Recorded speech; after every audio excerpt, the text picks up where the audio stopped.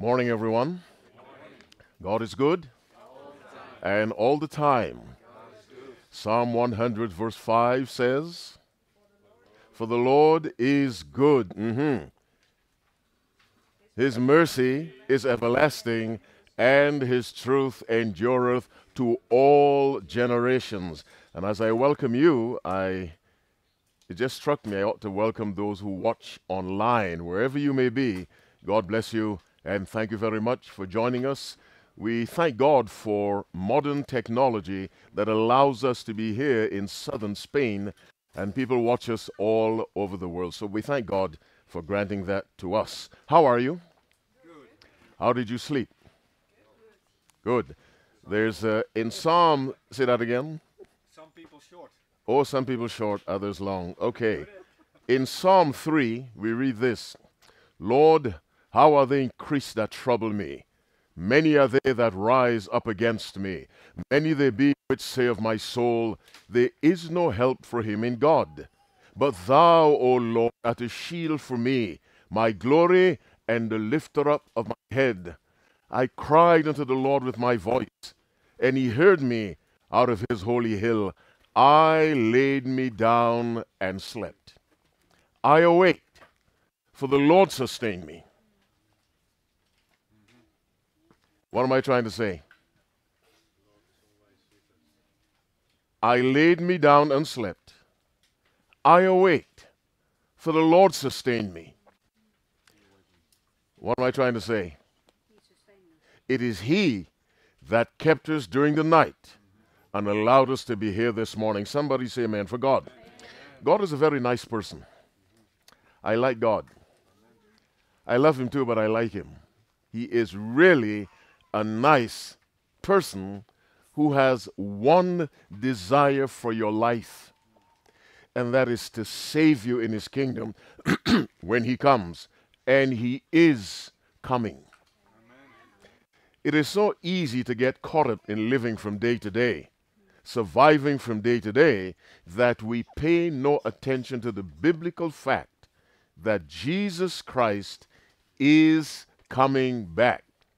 The Bible says of God, of Christ, same thing with respect to character, thou hast loved righteousness and hated iniquity. A God that hates sin cannot sit back and allow a sinful world to continue forever. He has to come and put a stop to it and uh, usher in a kingdom wherein dwelleth only righteousness. Who is with us for the very first time since we began on Wednesday? First time. You haven't been here during the week. First time, first time, first time. All right. So we're all. Oh, second. okay. Well, second is close to first, but not quite the same. Give us your name. Spell it. Yos. J O. I'm going to Nigeria in a couple of days to an area called Jos. J O S. Yes, called yes, exactly. All right, good to see you, my handsome brother. God bless you. How are the children? Do you have children? Nobody said yes. but I can see them. okay. How are the children doing? Are they in good health? I want to pray partic- particularly for the children. Could you bring them here? I want to pray, pray especially for the children. Bring them here, please.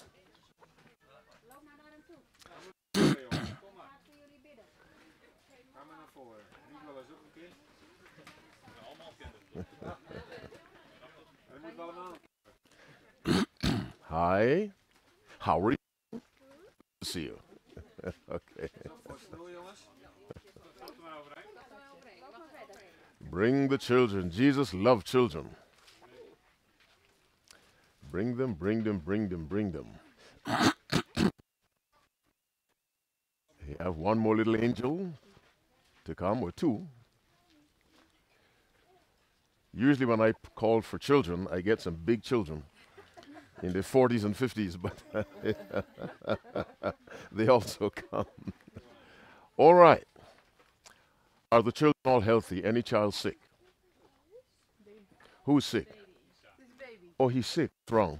Uh, he has a little bit fever. Okay, okay. okay. God. Any other child who's not well? Um, our children are, are all a bit um, have, having a cold. A cold. All right. Okay. Uh, who are they? Um, it's um, Jenny, hè? En jij hebt recorded me zeker, hè? Ja, but she, Okay. she is uh, also... A little cold. And he also. A little. Okay. Well, that, that's the way to smile when you have a cold. Just like that. Just like that. Okay. Let's bow our heads. Father in heaven, thank you for life. Thank you for being our Father. Thank you for the invitation, come unto me.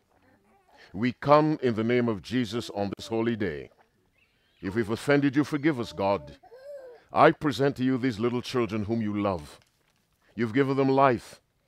The amazing thing is, Jesus Christ, at one point in his earthly life, was exactly their size.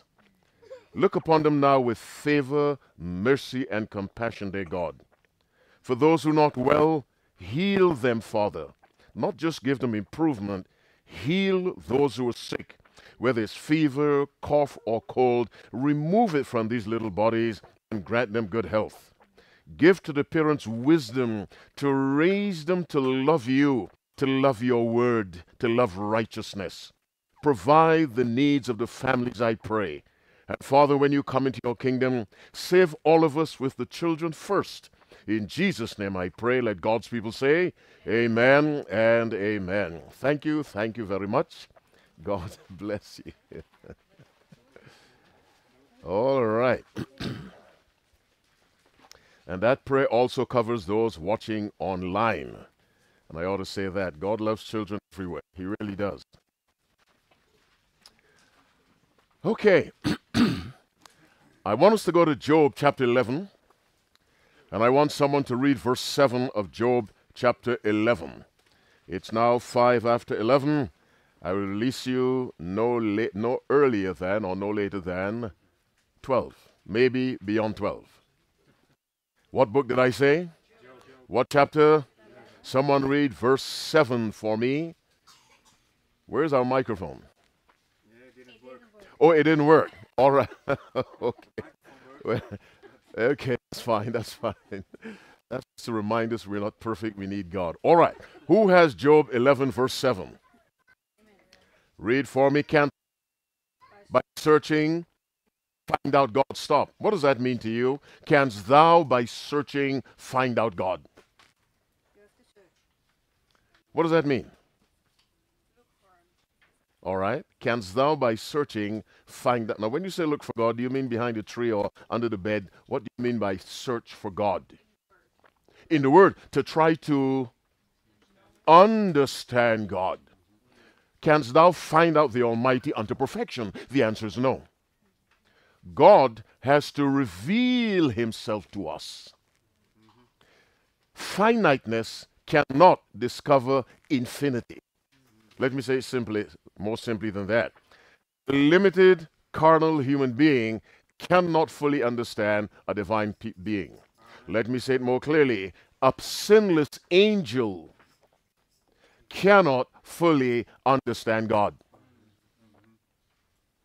That's why you read, and I think it's 1 Peter 1, verse 12, the angels desire to look into the things of the gospel. Why? They do not they are limited. And so when we study the Bible, when we think about God, we need to understand we are entering a subject that cannot be exhausted. God has to reveal himself to us as a reward for our attempt to find out about him. Now, let's try to find out some things about God. Let's go to 1 John chapter 4 and read verse 8. Well, let's not go there first. Let's go to John 5, read verse 37. John 5, verse 37. Anyone has that?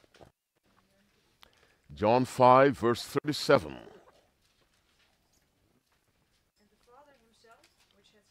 And the Father himself which hath sent me, mhm, he hath borne witness of me. Ye have neither, uh huh, at any time, nor. So Jesus says, Ye have neither heard his voice at any time, nor seen his shape. Pause. Think for five seconds. Then tell me two things you just learned about God.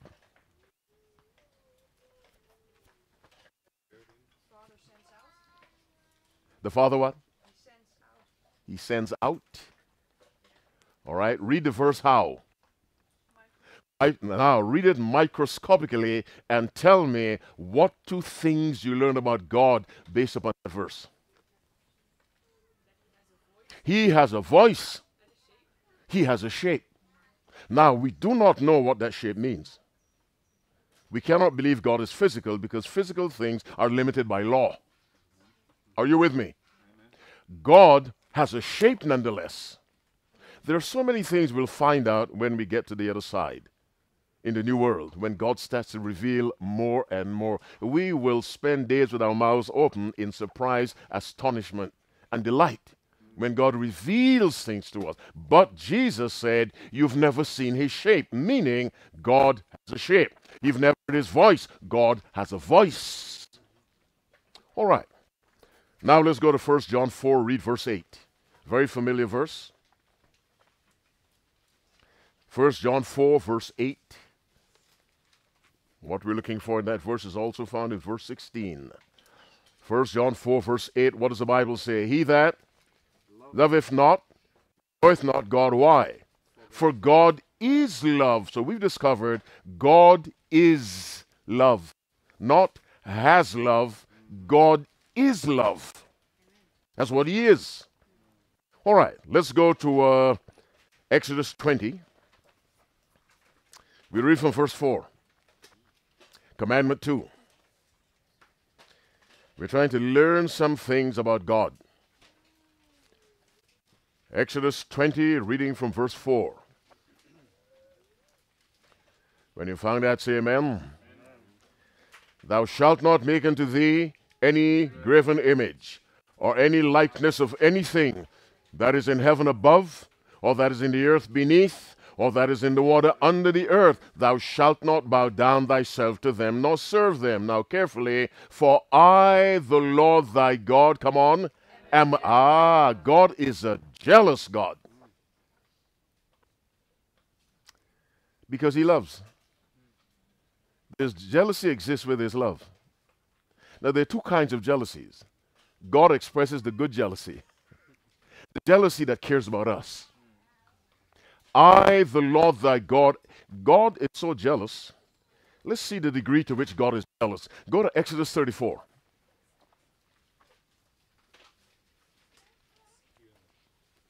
Exodus 34.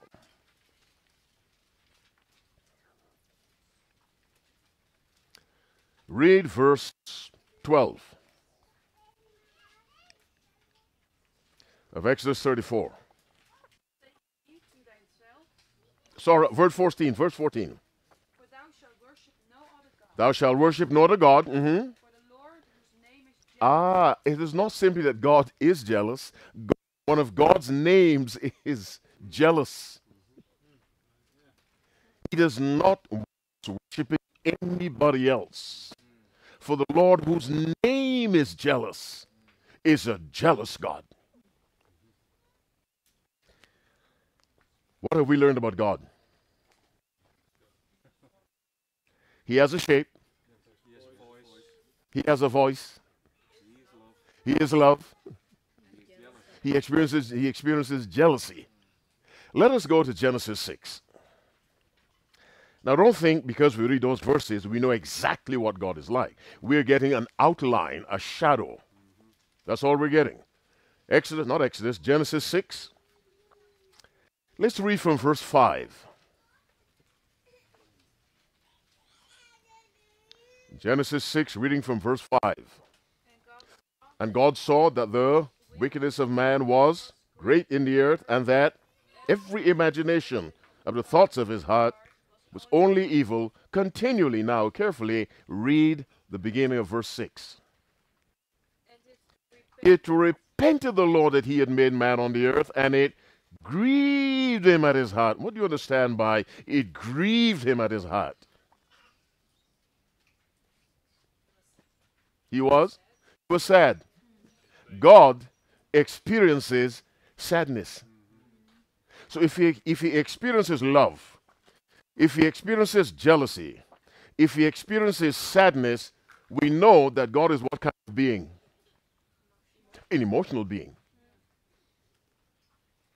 I'm not saying he is he functions purely emotion. I'm saying God experiences emotions. That's why we have emotions. Why?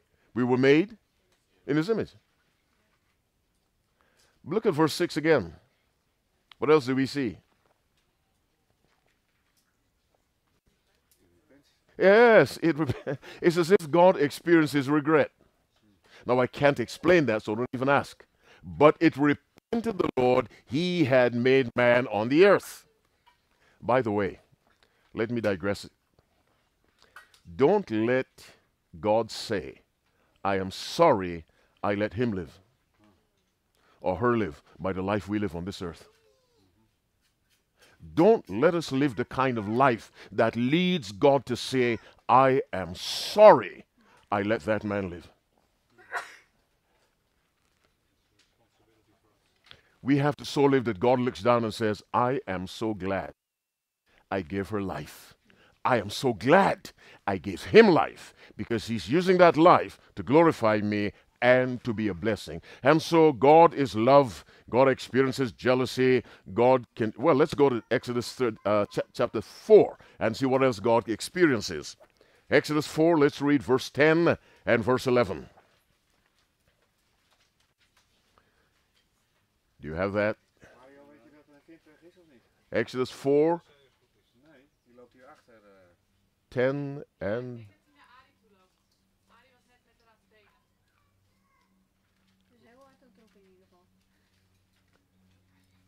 All right. Huh? Uh, The what? The oh, yes, yes, yes. Okay. Don't let that child get lost. All right. Exodus 4, 10 and 11. Who has that? Moses said unto the Lord, Aha, O my Lord, I am not eloquent heretofore, nor since thou hast spoken unto thy servant, but I am slow of speech and of a. Now Moses tells that to God because God told him, I want you to go to Pharaoh and tell Pharaoh, let my people go. Moses is scared to death. He's finding excuses not to go. He says, I'm slow of speech. He had been gone from Egypt so long, he had lost the ability to speak fluent Egyptian, whatever the language was. He may have had a physical impediment, we don't know now, but he's complaining he can't speak. Now, verse 11 And the Lord said unto him, Who hath made man's mouth? Or who made the Or the deaf, or the seeing? or the blind? hmm Have not I the Lord? Digress on that verse. Who made your kidney? Can he fix it? Yes. God tells Moses, You have a problem with your mouth. I made it. If I tell you, run up that hill, don't tell me I have one leg. You see what I'm trying to say? Don't tell me you have one leg if I tell you, run up that hill. If I tell you, run up that hill, what should you do? Run. Let me handle the one leggedness. If I tell you, speak for me, speak. Leave me. In other words, God does not want what? Uh, what else? Starts with an E. Then an X. then a C. Excuses. Do not bring excuses to God because God can fix any problem on which you base your excuse. Is that clear? Now, read verse 12. Here's what God tells Moses. So go, uh huh. I mm-hmm, and teach thee. Listen to Moses now in 13. And he said, O Oh, my Lord, uh huh. I I pray thee, whom thou wilt send. Now, Moses is still hesitating.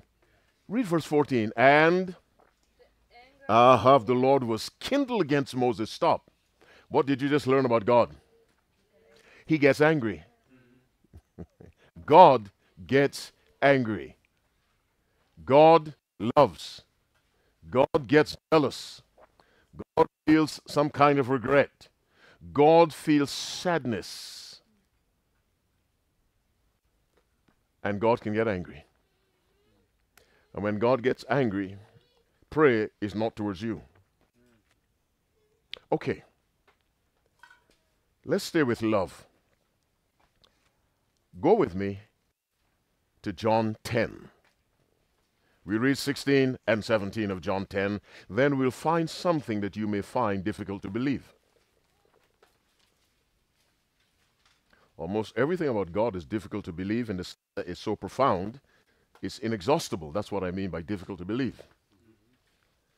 Do you have John 10? We read 16 and 17. And I have, I have, mhm, which are not of this fold. hmm Them also I must bring. hmm hear What voice, and there shall be one fold and one shepherd. I read with you is because those online need to hear. That's why. That's why. That's the only reason why. Okay, we got some information that they're eager to hear the word of God. And so we want to satisfy that desire. Other sheep I have which are not of this fold. Them also I must bring. Not I would like to bring, I must bring. It's almost a sense of urgency Christ is expressing. And they shall hear my voice. And this is the voice of God. Not my voice, this Bible and they shall be one fold and one. Now, read 17 carefully. Therefore, doth my Father love me, because I lay down my life that I might take it again. Now, let me ask you some questions. Read 17 again before I ask the question. Read quietly and I'll read loudly. Therefore doth my Father love me, because I lay down my life that I might take it again. When you see because, what do you understand? I am hungry because I have not eaten. I am tired because I worked. There's a cause. Yes, there's a cause. Because there's a reason. Now, listen again. Therefore doth my Father love me because. Well, let me ask you this long before Christ came to the world as a human being, did the Father love him? Mm-hmm. Hold on to your seats. Put on your seatbelt. what is he saying? Yes, but listen, my Father loves me because I laid down my life. But the Father had loved him before that. What is he saying?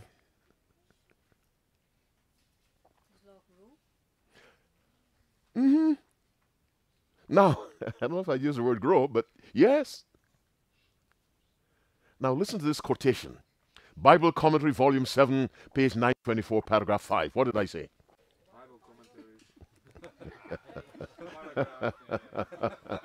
I love when you stumble and flumble and fall. Okay. Bible Commentary, Volume 7, page 924, paragraph 5. Well, tell me later. Okay.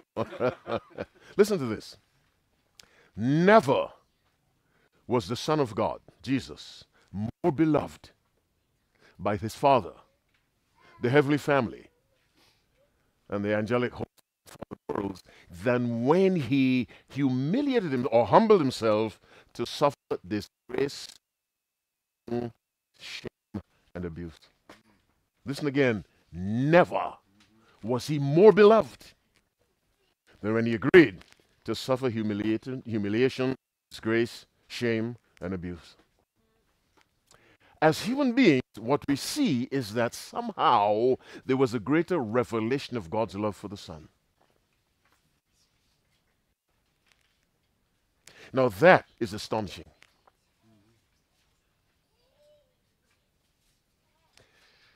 God's love for Christ insofar as we can determine, seem to have deepened because of Christ's willingness to give his life for sinners who did not like him. When you look at Christ dying for mankind, let's go to Romans 5, learn something else about God, and we'll come back to God's love appearing to increase. And I have to choose carefully. What book did I say? Romans, what chapter? 5. Let's read verse 8 and verse 10. Who has 8? Read for us, and I'll read with you. God commended this towards us in that while we were sinners, while we were sinners, right for us. Now, here's God, sinless God. Here's a sinner. What's the natural relationship between God and a sinner as far as the sin is concerned? What's the sinner's attitude towards God? He tries to avoid God. He avoids God. Separation, yes. But the natural in the sinner towards God, what's the attitude? Hate. Mm, hate. Now, let's see that in verse 10. Read what does that say? For if hmm we were enemies, Ah, when we were enemies, go reading, we reconciled to God by the death of his son. Pause, that's enough. Enemies. Now, what does that tell you about God? We have enemies. He loves his enemies. By the way, God loves your enemies. you took a while to say amen, but it's okay. God loves your enemies. So be careful how you treat your enemies. Wrong as they may be, God loves your enemies. God loves his enemies. Then how much more do you think he loves his children? Let me ask you this, you don't need to answer. Do you believe God has degrees of love that he expresses? All right. Let's. Uh huh. He doesn't look at the appearance. No, he doesn't. He looks here. Let us some verses and see what we can conclude under the guidance of the Spirit of God. Let's pray again. Father, as we continue, teach us, God, both in this place and online. In Jesus' name we pray. Amen. Go to Exodus 19. Exodus 19, let's read 4 and 5 of Exodus 19. And for those online, I should tell you we are in Santo Tome in the province of Jaén, Jaén, somewhere in Spain, up in the mountains where telephones don't. That's where we are. For those of us online, that's where we are. Pray hard so the prayers can reach us. Okay, now we're reading Exodus 19 5. Who has that? Ye have seen what I did unto the Egyptians, and how I bare you on eagle's wings and brought you unto myself. Stop. How many nations are in that verse? Okay, look again. Two. Name them. Uh huh. And you. Yeah, you. Who is you? The Israelites. You've seen what I did to the Egyptians. Now, what did God do to the Egyptians? Come on, name the plagues. Ten plagues. Ten plagues. What was the first one? Water in the blood. What was the last one? Firstborn destroyed. God said, You have seen what I did to them. Because of whom? You. Ah, you're not with me. The folks online are with me, but you're not with me. oh, well, I'm an amateur prophet. Now, you see, God said, Look at what I did to them to deliver you. Who was closer to God? Don't pause. Who was closer to God of those two groups? The Israelites. But since you don't believe me, and that's fine, believe the word. Read verse 5. Now, therefore, if ye will obey my voice indeed, and keep my covenant, then ye shall be what? Treasure unto me. Keep reading. Above.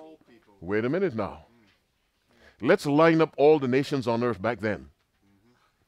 Which one was closest to God? The Israelites. But notice the condition. Read 5 again. Aha. Now, therefore, if you will obey my voice indeed and keep my covenant, what's the next word? Then, then, he shall be a peculiar treasure unto me. Go to Deuteronomy 7. Deuteronomy 7. It's almost 11:30. Time flies.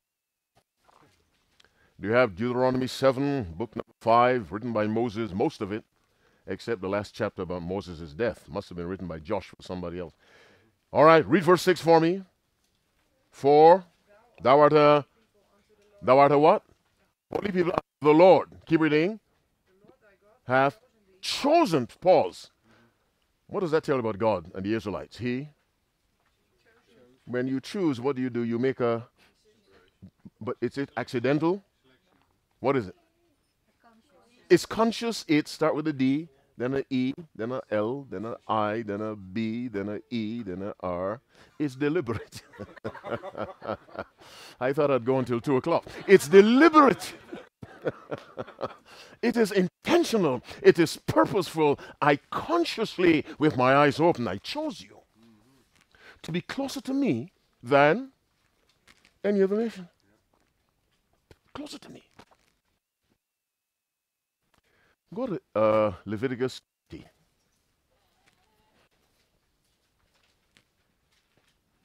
Read verse 26.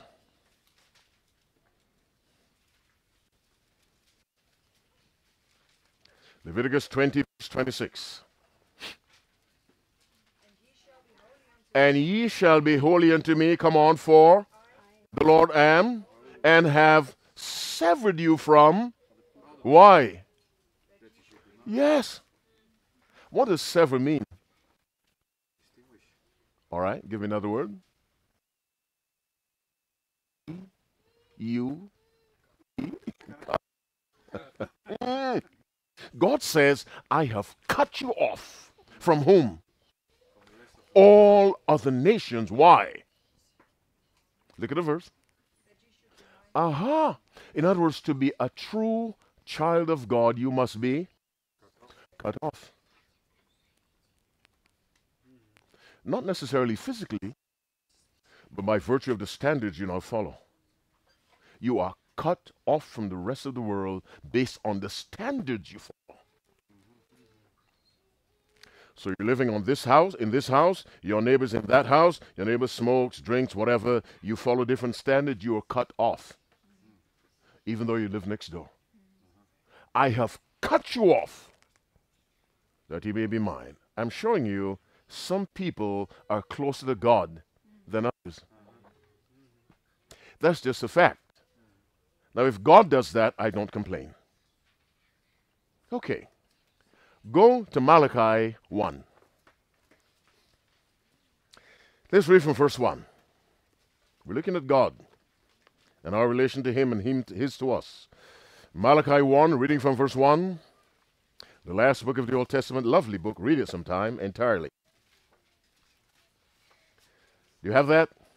Read with me. The burden of the word of the Lord to Israel by Malachi. I have loved you, saith the Lord, yet ye say, Wherein hast thou loved us? Keep reading. Was not Esau Jacob's brother, saith the Lord? Now take a deep breath. Read on. Yet I loved Jacob, come on, and I hated Esau. Stop. Does God hate people? Don't say yes. It from that verse. Are you with me? But when studying the Bible, you've got to study a little over here, a little over there. So one can explain the other. Now go to Genesis 29. Let's read 30 and 31 of Genesis 29. 30 and 31.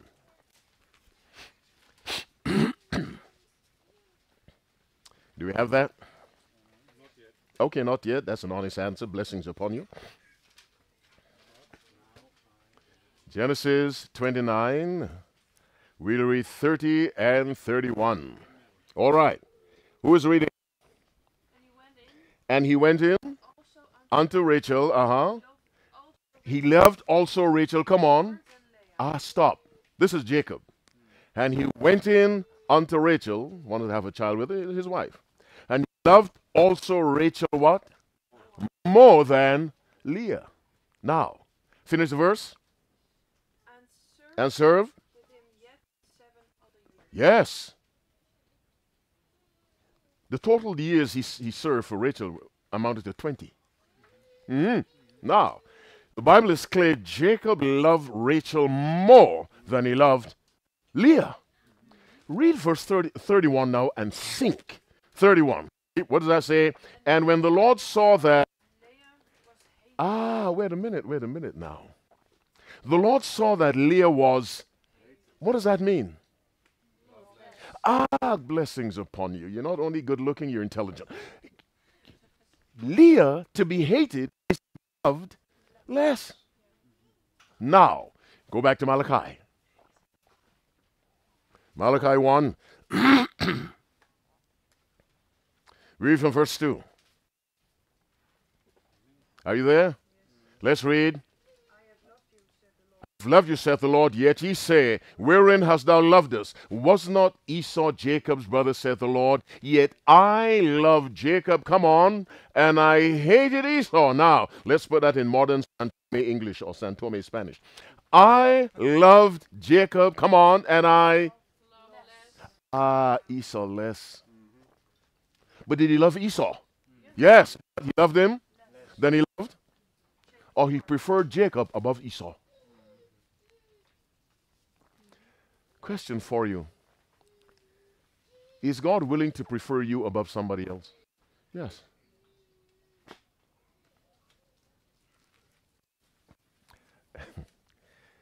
Let's go to uh, how many disciples did Jesus have who walked around with him wherever he went? Twelve. On some occasions, he only took three. Name them Peter, James, and John. On the Mount of Transfiguration, go to Matthew 17. Matthew 17. Read verse 1. And after six days, Jesus, yes, he takes whom? What did he do with the other nine? He left them at the bottom of the mountain. And if you read further in that chapter, when the transfiguration was over, he told them, Don't tell. Don't tell the nine. Did Jesus love all 12? Were the three closer to him? But who was closest to him? John. The Desire of Ages, page 524, paragraph 1. What did I say? 524, paragraph. Listen carefully to this beautiful uh, quotation. The Savior bless all who sought his help. He loves all the human family. But to some, he's bound or tied by peculiarly tender associations. His heart was knit by a strong bond of affection to the family at Bethany. And for them, his most wonderful work was wrought. What was his most powerful miracle? Raising Lazarus. He deliberately reserved his most powerful miracle for the family closest to him.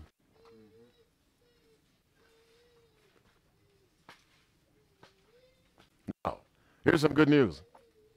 There is nothing to prevent you from being in that group that is closest to Christ.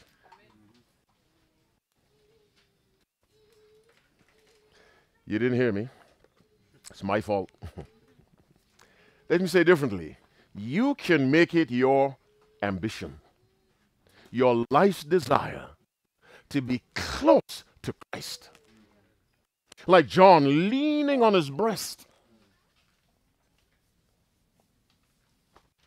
You and Christ like this. Go to John 17. John 17. Let's read from verse 9.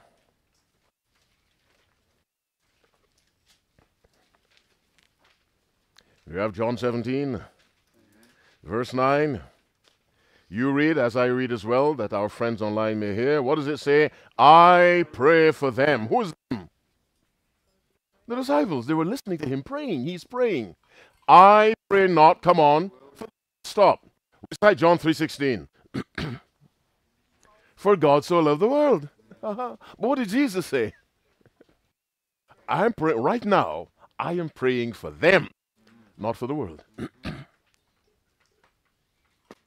Who was closer to him, the world or the disciples? The disciples. I pray for. I pray not for the world. By the way, it's very comforting to know that Jesus prayed for you. Did you hear what I said? Because when Jesus prays for you, who prayed for you? God. now, how can God's prayer not be answered? Jesus prayed for the disciples. Now, let's go to verse 20. Neither pray I for these alone, but for them also which shall believe on me through their word. For whom is he praying? Not just for those in his presence. Yes. Point to some future followers. They're right next to you. Cornelius, he's dead. They're right next to you. They're right next to you. Let's deal with the living. but you're right. You're right. Jesus prayed for you. You don't look impressed. I'm so sorry.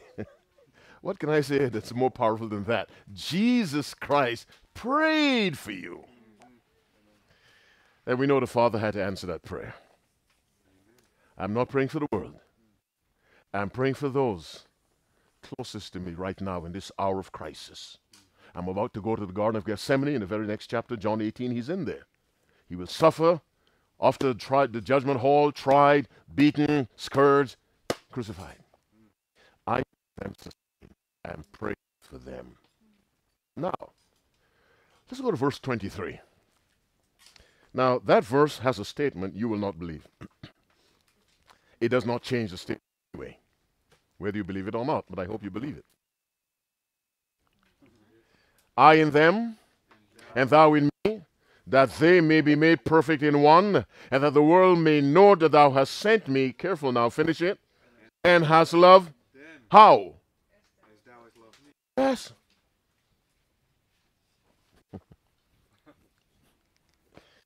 Let me simplify it.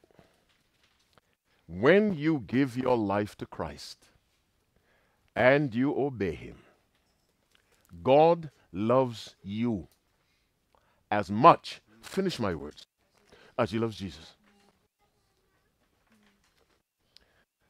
The Prime Minister cannot say that.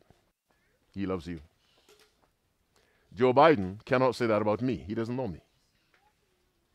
The King of the universe, the creator of heaven, the Father,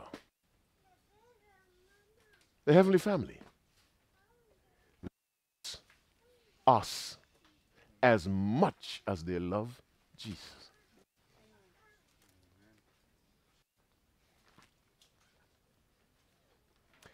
The problem is what? we don't believe it. And God never honors unbelief. He can't do it. We don't believe it. You see, unbelief is a natural reaction of the flesh. We, we, we doubt naturally. Go to verse 26 of John 17. And I have them thy name, and will declare it carefully now, that the love wherewith thou hast loved me, come on. Yes, the same love you have for me is in them. My friends in this place online, when you obey God, God loves you as much as He loves Jesus. But let me put something in your mind that to think that I'm really crazy. John 3:16. Say it for me. That he gave his only that whosoever should not but have All right, think with me now. You may have heard it on one of my sermons, but I love to say it. Look at the verse carefully and identify three people or three groups. Who are they? God, world, and the Son. Use your imagination now. I can't move. Okay. Here's God. Uh, not me, but here's God. Here's the Son. Here's the world. And here's God dab in the middle. He has to make a choice. Are you with me? Listen to the verse and keep visualizing God, the Son, the world. Let me put it differently God, the sinless Son, the corrupt world. For God so loved the world that he gave up his only begotten Son. So that God is saying, I prefer to go through eternity without my Son than without them.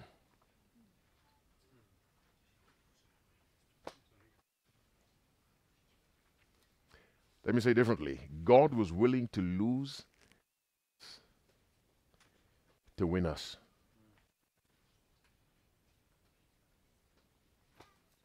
For God so loved the world. Describe the world. Corrupt. Hating Him. Anti anti God. Anti truth. Anti righteousness. Anti morality. And God looks at them. He looks at Jesus. I want them. I don't want their sins, I want them. But if you it may risk losing him, I'll take that risk. Listen to Christ on the cross. My God, my God, why hast thou? Aha, here's God again in the middle. Here's Christ on the cross. Here's a sinful world. He has to forsake one or the other. He forsakes Christ for a while. I said for a while. He turns his back. And Christ feels what it is to be absolutely separated from God for a while. He feels that. That God might save us. Let's look at it again. Father, if thou be willing, come on, remove this cup from me. He's bleeding through his skin, suffering in the garden. Here's the Father. Here's the Son. Here am I in the raw sewer of sin. Jesus the Father. Jesus says, Father, take this from me. But if he takes it from Jesus, mm-hmm, you take it.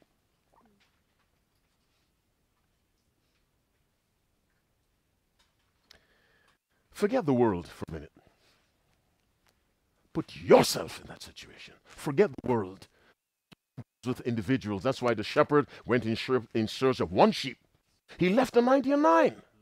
This is not a group thing, this is individual. He left the 99. Why? Because he saves us one on one.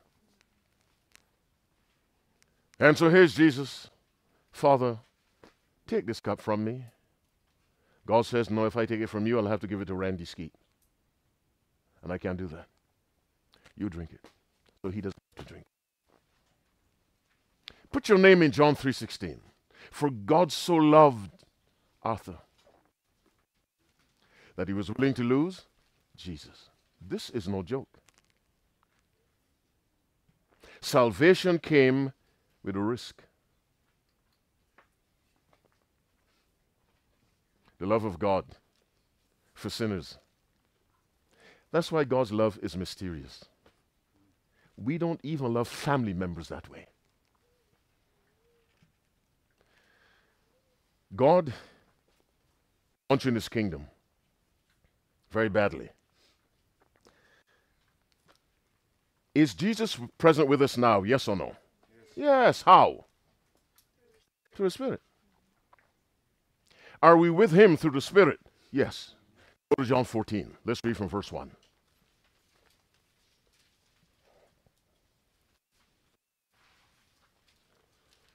You know it very well, I'm sure. Have you found it? John 14, reading from verse 1. Let me pray again, dear God, continue to be with me as I speak to those whom you love. In Jesus' name I pray. Amen. Say it with me. Let not your heart be troubled. Ye believe in God, also in me. In my Father's house are many mansions. If it were not so, I would have told. Let me pause on that and digress as usual. I like that about Jesus. If it's not so, on, I will tell you. Which means Christ tells us what we need to know. If I had changed the Sabbath, come on, I would have told you. Come on, am I talking to myself? if I wanted one man to marry two women, I would have told you. If I wanted a man to marry a man, I would have told you. I would have told you. Aye, that's the kind of God we serve. We live in countries where governments hide things from us. Jesus tells us everything we need to know.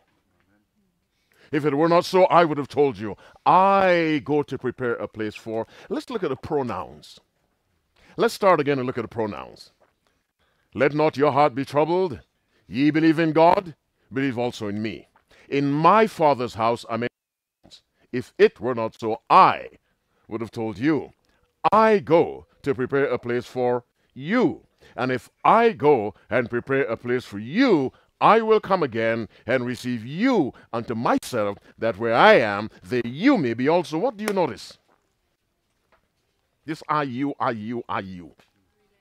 Relationship between God and it dropped his people, God and no, no, well, don't be so kind to me. Between God and me. Thank you, but God and you. Me. So Jesus says, I go to prepare a place for you. You go, coming for you. That where I am, finish verse 3, then are we with Jesus now? In a certain sense, yes. In another sense, no. Can you touch Jesus now? No. Why? He's in heaven. You're here. So for Christ, that's not good enough that the Holy Spirit represents him. He wants to represent himself. So he's arranged for us to be where he is and for him to be where we are. So that we can look in his eyes, walk with him, bump against him. That where I am, God desires a level of closeness. So close the wind can't pass between the two. Closer than two coats of paint. Because he loves. What God loves, he wants close to him. And so he says, I go to prepare a place for you. And if I go and prepare a place, he did not ask an angel to prepare it. He is doing. And if I go and prepare a place for you, I, he isn't sending Gabriel to get us. He's coming himself. That where I am, there he may be also. He could also say that where you are, there I am, because when all this is finished, the headquarters of heaven are put on this earth. hmm Revelation 21, verse 3. God's throne moves to this earth, and that's where he lives forever with him. Now, the Bible gives us a hint. There are other worlds where people live. That's not where God puts his, his uh, headquarters. He puts it on this earth with us, the only world that sinned. That's L O V E. Let me tell you something else about the love of God. Go to uh, Le- uh, Leviticus, not Leviticus, Luke 24. Luke 24.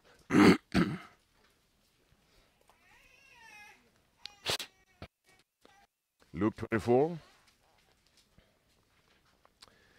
Let's read verse 36. From 36. You have Luke 24 from verse 36. And as they thus spake, what happened? Jesus, stop. In the Greek, that's called the intensive. The verse could have said Jesus stood in the midst, but it said Jesus himself. You see, God never wants you guessing that He's the one moving in your life. Jesus Himself stood in the midst of them and saith unto them, What? Peace be unto you. What's the next verse? Oh, keep reading. And they were terrified and affrighted. Why? They supposed they'd seen a spirit. Now, Jesus convinced them, I am not a spirit. Was way back before he became human. Now I'm human. I am not a spirit. And he said, Why are ye troubled, and why do thoughts arise in your heart? Behold, what? My hands, come on. Yes, it is I. Here again we have the intensive. It is I myself, not someone who looks like me. Why does he say, Behold my hands and my feet? Yes, he came from the grave with the marks of the crucifixion. But he came from the grave with a different body. Go to Philippians chapter 3, then we'll come back to Luke 24. Philippians uh, 3, let's read from verse 20.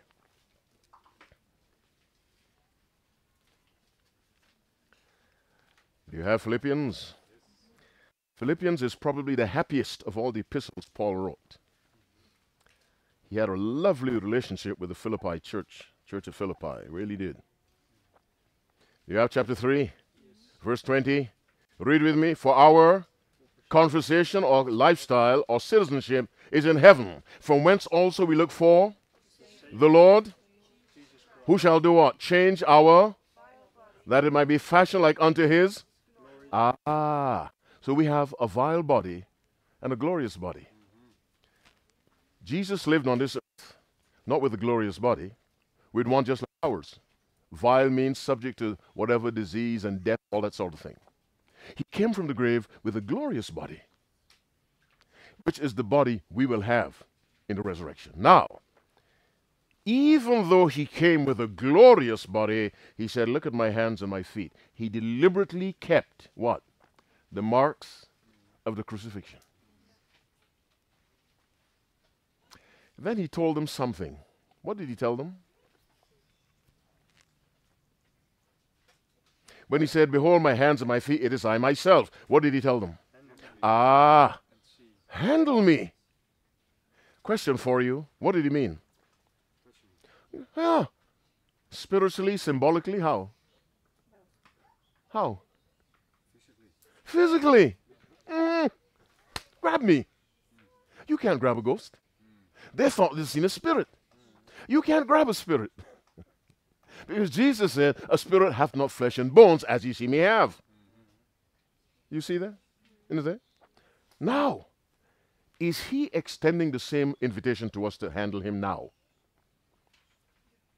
Yes, but by faith, which is higher than the physical. Ah, you're not with me. By faith, which is higher than the physical, through the Word of God, we handle Jesus and see it is I myself. We serve a God who falls over himself to convince us I am real. Is someone sitting next to you? No? God is more real than that person. Handle me and see. In Malachi 3, God says, Prove me now herewith, saith Lord of hosts. It is no different from handle me and see. Prove for yourself that I'm real. Psalm 34, verse 8. Oh, taste and see. Come on. Prove it. God wants you convinced He's real. And something does not have physical in order to be real. Why did I go through all of that? Christ rose from the dead with this glorified body with the marks of the crucifixion. In heaven, right now, Christ has the marks of the crucifixion. When you and I are resurrected or translated, when I say translated, what do I mean? We never physically die. When Christ comes, we go straight up with him. We change, go up with him. We don't die at all. That's translation. If we die, he raises up. That's resurrection. Okay. When Christ comes and we're translated or resurrected, will we have any marks of the crucifixion? But are we supposed to die with Christ? Yes. Will we have marks? No. Picture this then. Use your imagination. Here is Jesus, and here are you, walking down Hallelujah Boulevard in the new city. and somebody looks at you and looks at Jesus and squints because there are marks on his forehead. There are none on yours. And then Jesus waves because everyone is right in the new world. And the person squints again. Why? There's a mark in his hand, none in yours. And the wind blows and lifts the toga of Jesus, and there's a mark in his side. The same, the same wind lifts your toga, and there's no mark. And the person now, something's not right. What did he do? What did he do? And what will you say immediately? Nothing. It was I. Then how come he has the marks and you have none? And you respond with a one one word that has four letters. Love.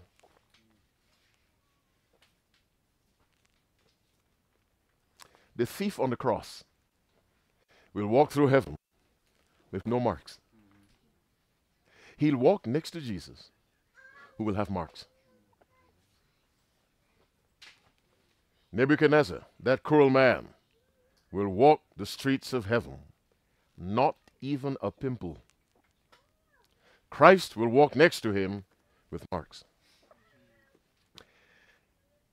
God's love for you is the love he has for Jesus. And without being sensational, he was willing to lose Jesus to save you.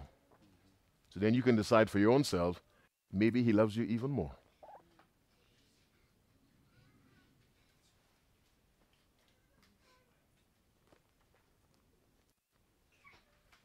How should you respond to that kind of love? Give your life to Him. Give your life to Him.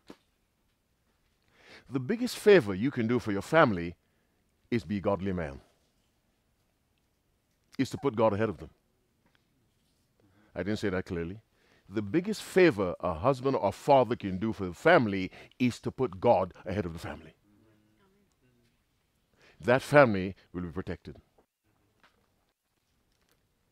The biggest favor you can do for yourself as a student in university is to put God ahead of your studies.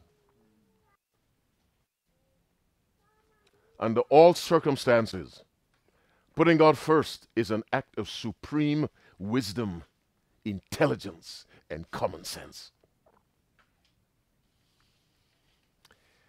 One other thing about Christ, I he'll have the mark of the crucifixion forever, which means he will be what forever?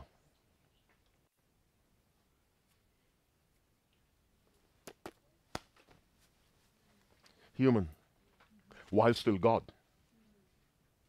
But what people will see is human.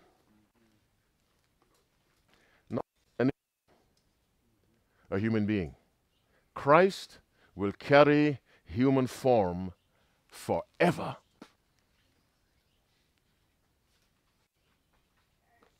Is love expensive? Yes. Salvation is costly. It costs God everything, it only costs us our sins. Mm-hmm. God says, Give me your sins. That's all I want. And God gives us everything. Let me ask you a question. Think before you answer. You have two seconds to think. Does God owe you anything? No. I mean, I've heard people fuss about God. I was a vegetarian and now I have cancer. What's wrong with God? Nothing's wrong with God. I mean, but God is never wrong. Are you with me? I lived a moral life, can't find a husband. In this world, you shall have tribulations. There is never anything wrong with God.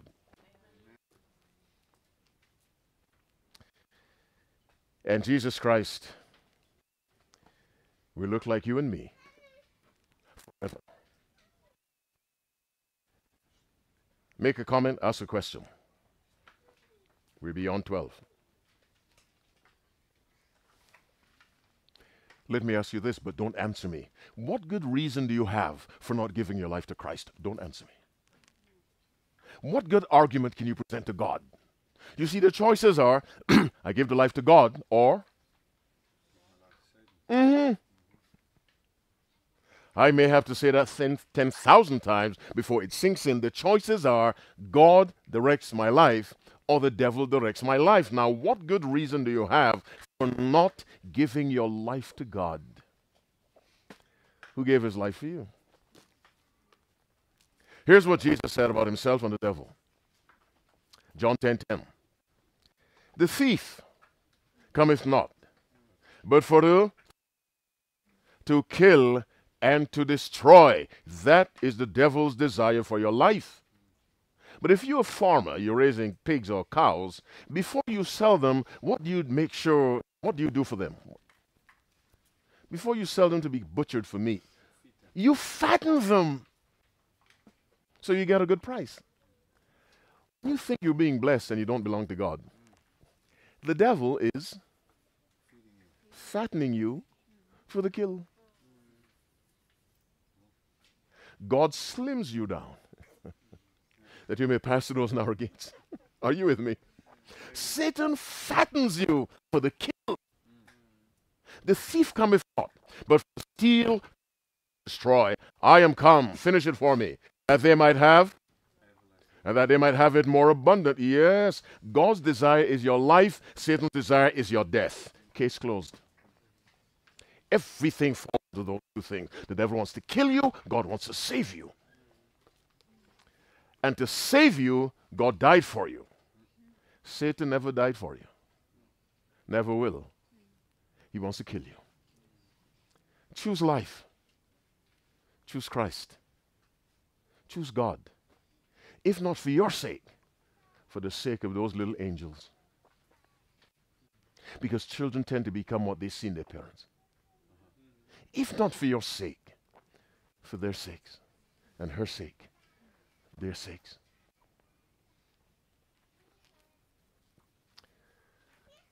What have you learned this morning? yes. Mm-hmm. It's not emotion that determines his behavior, but God has an emotional side. Mm-hmm. What else? God does not hate people. As strange as it may sound, when God destroys sinners, it'll be an act of love and justice. God loves his enemies. Mm-hmm. he loved? Yes, he was willing to lose Christ instead of the world. Mm-hmm. And we make it personal. He was willing to lose Christ that he may save you and me. What else? What else have you learned?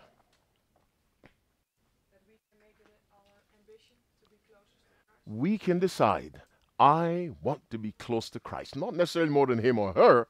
I just want to be as close to Christ as I can. Now, let me show you how close you can get to Christ. I was about to finish, but uh, my habit is to five more minutes. Okay, go to Ephesians 5. Let's see how close to Christ you can be. And he wants you. Ephesians 5, we'll read from verse 25. and you haven't told me once to slow down, so it's your fault fault, but I still love you. But it's your fault. Maybe we don't want you to slow down. Oh, well, you know, you should want me to slow down. Do you have Ephesians 5? Father in heaven, as we come to the end, continue to bless us with understanding in this building and those online. In Jesus' name we pray. Amen. Read with me, husbands. Love your wives. Pause. All husbands amen. okay. Husbands, love your wives, even as Christ also loved the church. Come on. And gave himself for it, that he might sanctify and cleanse it with the washing of water by the word, that he might present it himself a glorious church, not having spot or wrinkle, anything that it should be. And without? All right. Now, verse 28, what does that say? Come on, read. So ought men to love their how? Okay, pause now. We're using something physical to teach a lesson. A man ought to love his wife as if his wife is himself. In other words, if a man hits his wife, he's hit himself. And nobody walks around hitting themselves. So ought men to love their wives as their own bodies. Next verse. Or keep reading. Love with himself. So spousal abuse is self hate. Ah, nobody's listening. You, you're thinking about the food. Okay. He that loveth his wife loveth himself. Which means he that hateth his wife, come on. Yes. That's the extent of the union between the two. You know, some Ellen White wrote, Eve was Adam's other self. Ah, that's powerful. His other self, Eve. She came from here. Now, next verse. For no man ever yet, uh huh, but nourisheth and teacheth it, even as the Lord the church. Now, Paul wants us to understand how close Christ is to us. He talks about husband and wife, not mother and child, husband and wife. Read verse 31. Verse 30. Yes. Uh huh. Pause a minute. Where is Paul quoting from? Genesis 2, verse 33. And Adam said, This is now bone of my bone and flesh of my flesh. For a woman, why? Because she was taken out of man. Now, the Holy Ghost has Paul using that to explain the relationship between Christ and the church. But let's forget the church, Christ and you. Christ wants you to be bone of his bone, flesh of his flesh. So you and Christ are truly one. Read verse 24 of uh, Genesis 2. Therefore shall a man leave his and his mother, and shall cleave to his wife, and they shall be. Paul takes that and said, that's the way it must be spiritually. You and Christ, one. You the church, Christ, one. We're members of his body, of his flesh, of his bone. That's the closeness God wants with us. And Paul uses the closest bond on earth to express that. A wife and a husband, you and Christ. When you have that kind of union, divorce kills both people. Mhm, It kills both. You can't cut me in half and expect one half to survive. Divorce kills both.